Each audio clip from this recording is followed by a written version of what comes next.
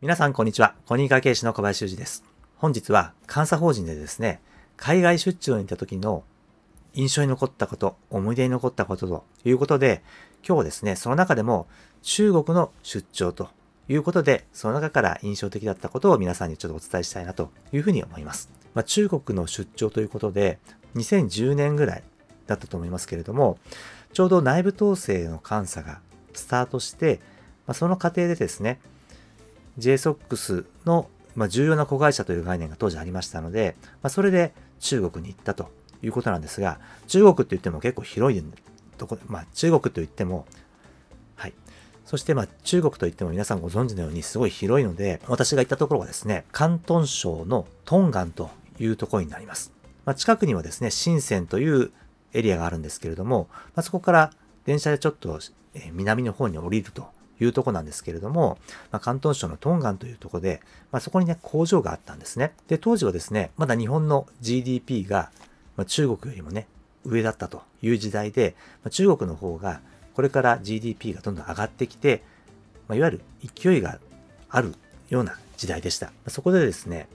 なんで中国なのかっていう話なんですが、まあ、当時はですね、日本のその海外子会社なんですけれども、来量加工っていうスキームがありまして、まあ、その一環で、まあ、中国に工場があって、まあ、そこで作った部品を日本に売ると、日本に輸出すると、まあ、そういったようなスキームがあったんですね。で、まあ、正確にその来量加工っていうところをね、あのホームページにも載ってるんですけれども、まあ、輸入材料をね、こう日本企業から無償で提供されて、まあ、それをその海外工場で生産すると。中国企業は生産すると。まあ、そこに加工賃がまあ入って、まあ、その作ったものを日本企業に輸出するっていうような流れなんですけれどもね、それを来量加工っていうようなスキームを使ってやっていたので、まあ、その一環で中国の広東省の、まあ、広いんですけれどもね、それでも、広東省って言ってもすごい広いんですけれども、まあ、その中の一都市に行ったということなんですね。で、最後の方ですね、まあ、最初は上司の人と一緒に行ったりしてたんですけれども、まあ、最後はね、1週間ぐらい一人で行ってこいっていうことで、一人でね、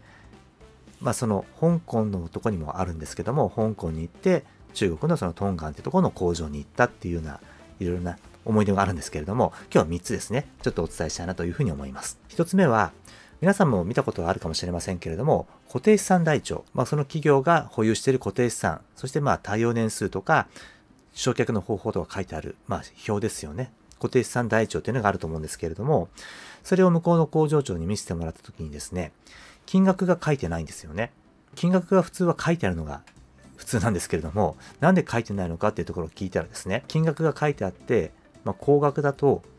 従業員の人がそれを持って帰ってしまうと。まあ、経理の人が固定資産台帳を見ることができるので、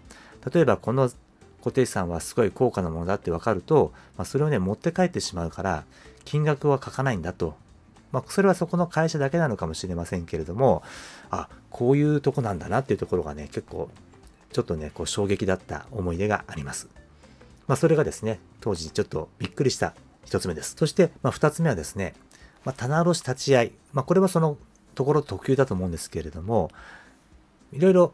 電化製品、家電製品を、まあ、家電というか電化製品を作ってたんですけれども、棚卸し、日本と同じようにですね、立ち会いが、棚卸し立ち会いをやるんですけれども、最後にですね、棚卸しの公表したりするんですが、まあ、工場も広くて、私がその工場長と、まあ、工場の担当の人とね、一緒に回りながら棚の立ち会いをこう、やっていくわけですね。監査手続きとして。その中で一つこう議論になったのが、シャーペンの芯がありますよね。シャーペンの芯のケースがいくつか置いてあったんですね。そこの中に入っているシャーペンの芯が何本あるのかっていうところをカウントするんですよね。だからもうあらゆるものをあらゆるものをカウントするっていうような考えだったんですけれども、シャーペンの芯って皆さん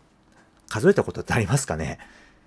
まあ、買った時にね、何本入れって書いてありますけれども、その後に、この棚押しの時にですね、まあ、机にこう、芯を出して、何本あるっていうのを数えて、棚押し表に入れていくんですけれども、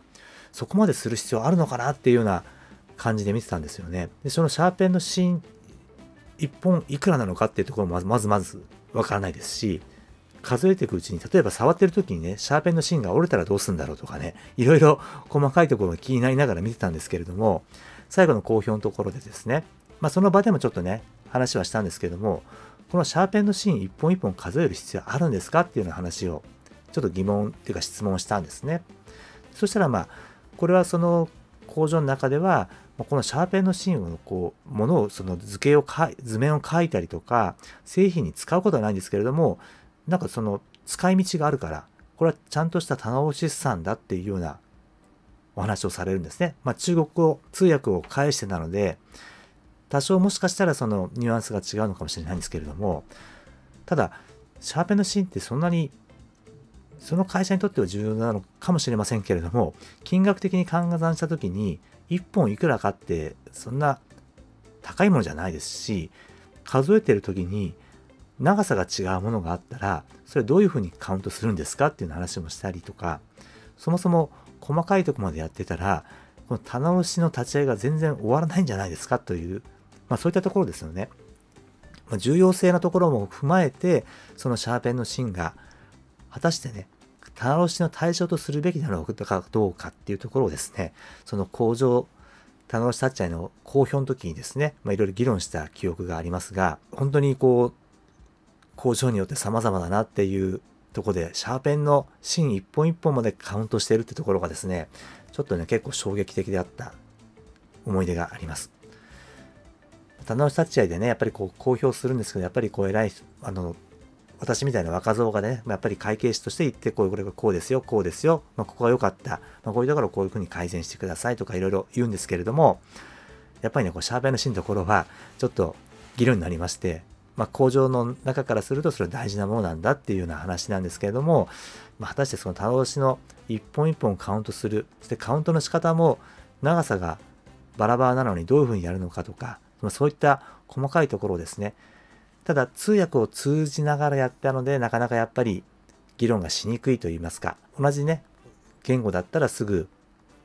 やり取りできるんですけれどもちょっともどかしいながらですね、まあ、棚卸しの立ち会いの公表をしたというところが2点目の思い出になります。3つ目はですね、その工場は中国の各地からこう出稼ぎして工場で働いて、まあ、旧正月になるとまた地元に帰るっていうような、まあ、そういった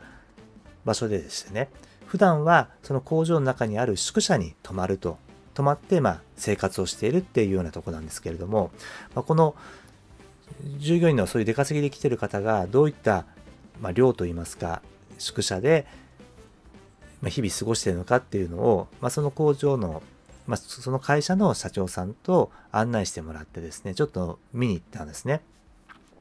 で、その時に衝撃だったのが、部屋がまあ、与えられてるんですけれども、明らかにね、そこ4人に入るのは、絶対に入らないだろうっていうぐらいの部屋の広さなんですけれども、そこにですね、2段ベッドが、ま両脇にあって、まあ、4人。で、もう本当に私物といいますか、生活用品っていうのはもう本当に置けないぐらいのとこなのに、まあ、そこにですね、ま4人で暮らしてると、まあ、そういう部屋が何いくつもずっとあるんですね。でもこれがまあ向こうの人にとっては、まあ、当時の向こうの人にとっては、まあ、これがまあ普通だということでですね、まあ、劣悪な環境っていうわけじゃないんですけれども、すごいその、この生活の、何と言いますか、生活環境がね、すごい大変なんだなとまあ、その人たちにとっては大変なんじゃない、大変ではないのかもしれないんですけれども、日本から行った身からすると、その、すごい狭いとこにね、4人押し込められて生活して、で、工場で働いて、またそこに戻るといったような、しかも、いわゆる日本の工場のようにコンクリートがきれいにあって、こう緑があってとか、そういうんじゃなくて、結構もう土ぼこりが舞うような感じのとこだったので、余計にですね、この日本とのその違いをね、当時感じてしまいまして、あこういったところ、まあ、出稼ぎの方がですね、こういったところに来て、まあ、工場で働いてやってるんだなっていう、その裏側ですよね。その会社の、まあ、実際のその現場の裏側といいますか、まあ、そういったところを見たときに、こう、やっぱり、まあ、ショックというわけじゃなくてですね、やっぱりこう、衝撃を受けたというようなことがありました。で、旧正月になって帰ると、そのまままた工場に戻ってこない人もやっぱり一定数いるいるみたいでですね、その旧正月明けでまた帰ってくると、もうまた人が減ってるとか、まあそういった悩みもね、当時はその工場ではあるんだっていうような話をされていて、やっぱりこう文化の違いですか。まあそういったところをね、こう肌で感じることができたその工場の多さでした。まあ、そういったことでですね、公認会計士になるとですね、私はすごい好きだったのは、そういう地方とか海外にですね、こう出張に行ける機会がある。これがなかなかね、魅力的でありましたし、まあ、当時はね、そんなに出張があるとは思ってなかったんですけれども、海外にね、私の場合はですけども、何回か行かせていただくことができました。まあ、そういったことでですね、日本国内だけじゃなくて、まあ、海外とのその当時の違いとか、やはり異文化のね、その観光地ではないところ、観光地だったらね、行く機会はあるかもしれませんけれども、実際にその工場とかビジネスをしているところに行くっていう機会がですね、やはり持てたのが非常に良かったなというところであります。今日はですね、その中国工場多さということで話をさせていただきましたけれども、まだね、いくつか海外に行ったことがありますので、まあそういったところのね、そこでの思ったこと、感じたことっていうところもですね、また別の動画で皆様にお伝えできればなというふうに思いますけれども、今日は、まずと、まあ、中国のトンガンという、まあ、生産工場ですね。まあ、ここに訪問した時の思い出ということで動画にさせていただきました。まあ、このね、仕事の思い出と、またその後ね、夜のね、この会食とか、夜でこういろいろ食事とか街を歩いた時の思い出っていうところもありますので、またその思い出シリーズということで別の動画を上げさせていただければなというふうに思いますので、ぜひ楽しみにお待ちいただければなというふうに思っております。まあ、それでは本日の動画は以上となります。本日の動画が面白かった、ためになったと思う方はですね、ぜひいいねボタン、高評価を押していただけると嬉しく思います。またですね、このチャンネルでは公認会計士として日々実務を行っていく中で思ったこと、感じたことや税務会計に関する、まあ、気づきですとか、まあ、ワンポイントアドバイス、そういったところが、そういったところをですね、皆様に分かりやすくお伝えできればなというふうに思っておりますので、チャンネルを応援していただける方は、ぜひチャンネル登録していただけると動画作成の励みになりますので、ぜひチャンネル登録よろしくお願いいたします。それではまた次の動画でお会いしましょう。